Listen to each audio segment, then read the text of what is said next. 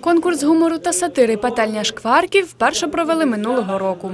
Цьогоріч його вдосконалили та зробили більш анонімним для журі, до якого війшли Грись Драпак, Микола Базів, Микола Лукашкевич і Богдан Бастюк. Усі тексти, які надійшли на адресу редакції, організатори пронумерували у хаотичному порядку та розіслали суддям.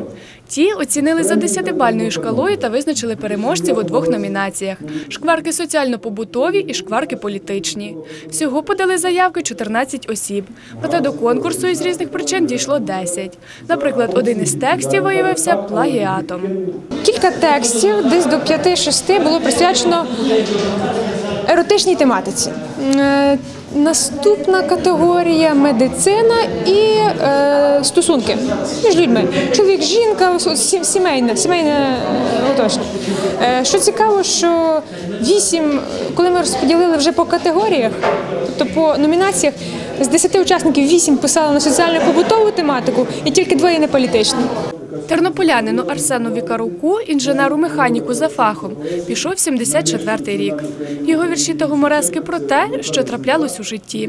І хоча писати почав недавно, його цілеспрямованості може позаздрити будь-хто із молодих. З літературою я не мав десь так до 70 майже років нічого спільного. Писати почав буквально якихось 5-6 років тому назад. Так що мені трудно трошки з мовою, словами, з розділовими знаками.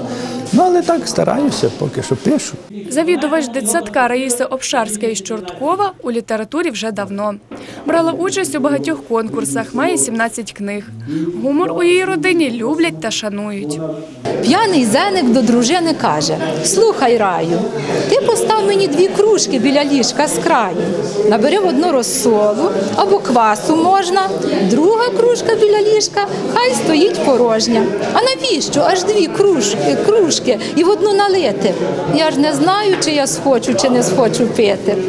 Переможцями у категорії соціально-побутові шкварки стали Раїса Обшарська, Богдан Кушнірик та Олег Бакалюк. У політичних шкварках перемогли Євген Миськів та Василь Фенюк. У подарунок вони отримали по справжній пательні. Надіслали на конкурс гумору та сатири і дві оди шкваркам, авторам яких подарували по кілограму сала.